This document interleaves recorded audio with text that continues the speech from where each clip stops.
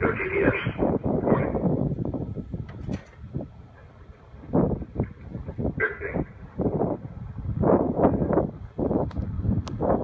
Yeah. T-minus 10, 9, 8, 7, 6, 5, 4, 3, 2, 1. RUNE ignition. And we have liftoff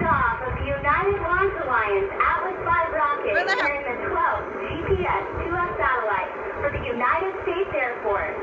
The Global Positioning System provides worldwide positioning, navigation, and timing service for Where is military it? and civilian users.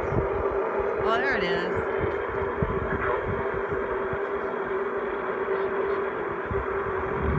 You are deployed to Martin Avenue.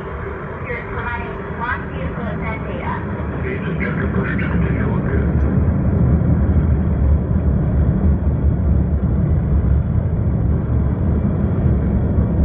Wow! Yeah. RD-180 continues to perform well. And the load program is now complete. Fire rates look good. Engine performance continues to look good as well.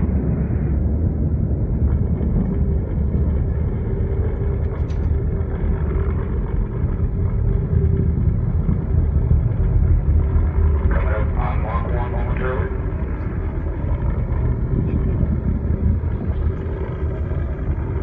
Mach 1. Flight rates continue to look very good. Engine performance is steady.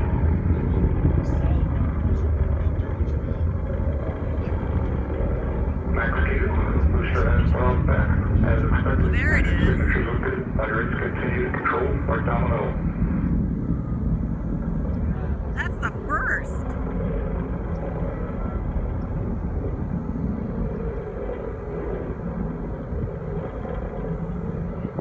Current altitude is 13 miles, downrange distance 8.5 miles. Current velocity is 2,200 miles per hour.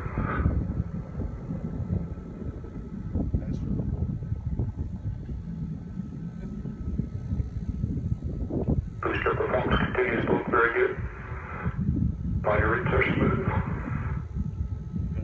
Coming up on our closed loop steering segment.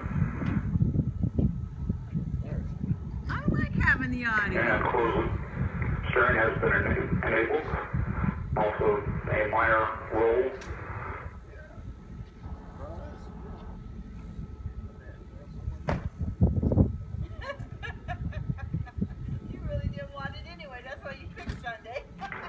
RD-180 pump speeds and jet pressures continue to look good. RCS power valve has been fired. Systems now pressurized to flight levels. Signatures look good.